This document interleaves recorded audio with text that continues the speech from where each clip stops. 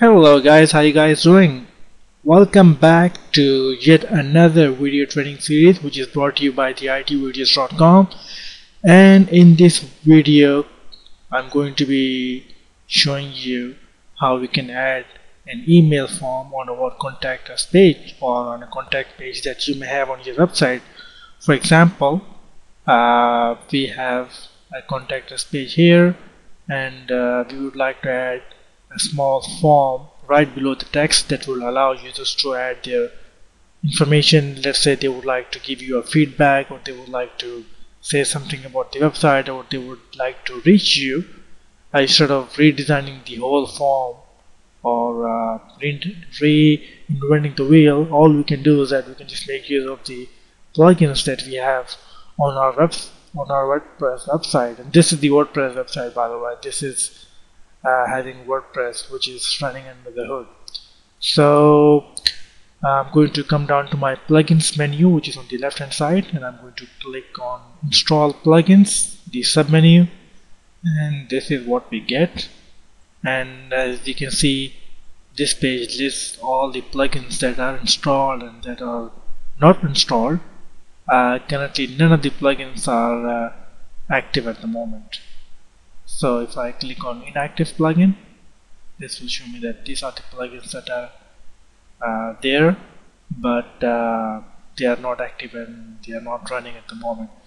But and what we are interested in right now is using a plugin that is known as if I uh, do a quick Google search. This is the one that I'm looking for. And this is called contact form 7 and uh, this has been downloaded over 1300 times or oh, more than 1300 times. And uh, this is a pretty good one. And uh, it works. Uh, this is some equation some formula that uh, WordPress uses. So I can always go ahead and download this one but I have already downloaded it on my on my hard disk. So let's quickly go back to our WordPress uh, dashboard and uh, I can either uh, type for the contact form 7 here or I can just upload. If I want to upload I can just you know look for the uh, form that is right here. The plugin that is to click on that and say install now. The file should be in the zip format as you can see. So when you download something from here it will um, so here we are. Now the plugin has successfully been installed but it's not active yet. Uh, we can uh, activate it. Let's go ahead and activate this one. And the moment we activate it will come back to us with this message. It says uh, it is active. One plugin is active. If I just click on that it will only display the one that is active. And uh, the way we use that is if I go to the settings menu this is the magic. This line does everything.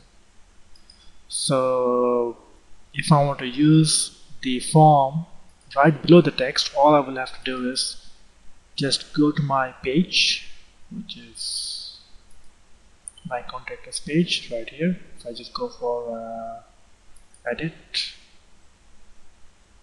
and uh, anyway if I just paste that code I have that in my clipboard. Let me just hit control V. And here if I just hit update and uh, now if I go back to my contact us page and hit refresh we should see some magic. And here we go. This contact us uh, this email form is right here.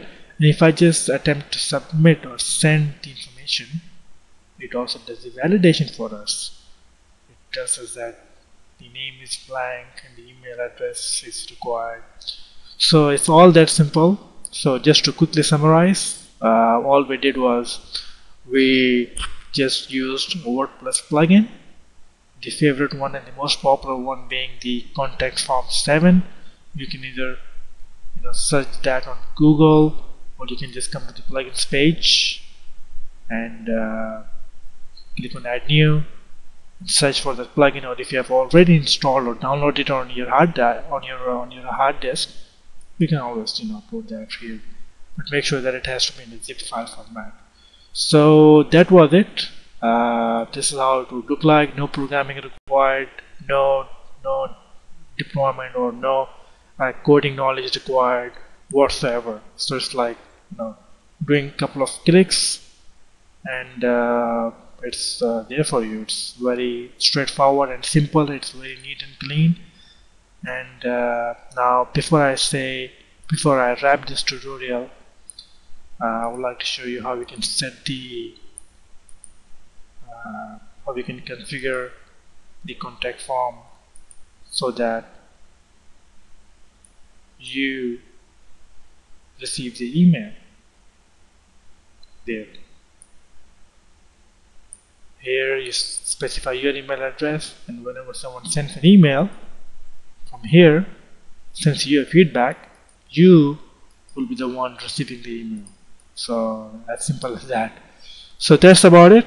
Uh, I'm going to be making some more videos about how to add various plugins how to install themes and few more uh, informative uh, video series. So that was it from uh, my end and uh, I will see you in the next video.